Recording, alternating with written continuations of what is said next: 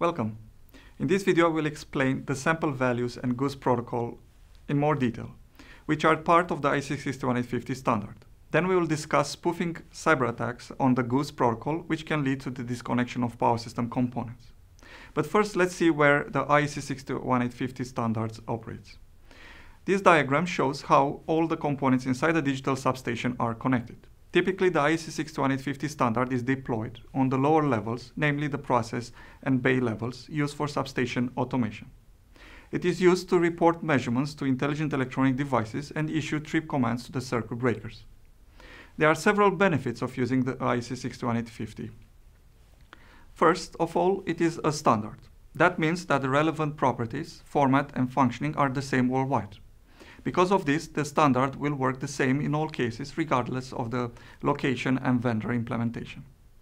This allows the various intelligent electronic devices to be interoperable. So you can go to any vendor, pick up a digital relay, and it will work with hardly any adjustments with your existing infrastructure. This will make the substation automation and uh, monitoring very straightforward, allowing for a broad deployment of this technology. The IEC 61850 standard has two main protocols, sample values, and the generic object-oriented substation events, or GOOSE for short. Let's have a closer look at them, starting with the sample values protocol.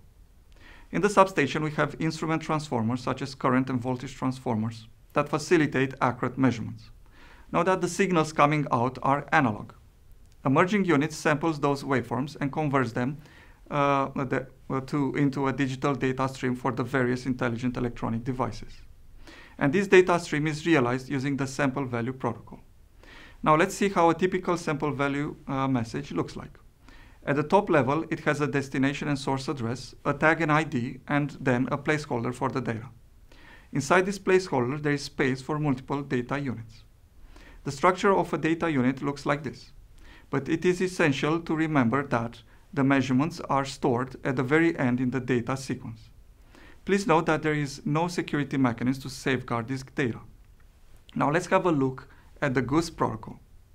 Contrary to sample values, the Goose protocol is used for urgent messages. This message can be a trip command sent by the protection relays to the circuit breaker. Goose is very fast. After the intelligent electronic device has sensed the short circuit, the circuit breaker is opened by its actuator within 4 milliseconds to clear the fault. Similarly to sample values, a Goose message also has a destination and source address, a tag, and an ID. Inside the data placeholder, there are again various attributes. The goose command indicating what should happen with the circuit breaker is embedded in the data sets. Similar to sample value, there is no security mechanism to safeguard this data. Now let us look at how a man-in-the-middle attack can exploit the vulnerabilities of the Goose protocol.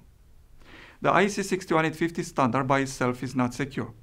It does not have any mechanisms that ensure the integrity and authenticity of the communicated data frames.